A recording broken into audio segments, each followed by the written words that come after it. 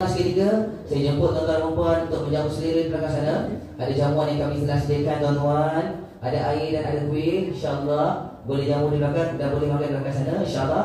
Dan untuk meneruskan lagi kita akan sambung pada jam 11 pagi insyaAllah. Kita tangguhkan seketika dengan tasbih surah Ma'as.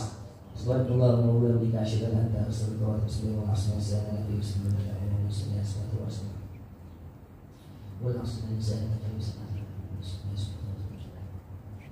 Baik, kita tangguhkan seketika wajah kita insyaAllah Silakan. Tetamu-tetamu pada dua Rahman yang saya kasih sini Ada jamuan InsyaAllah ke? Ajar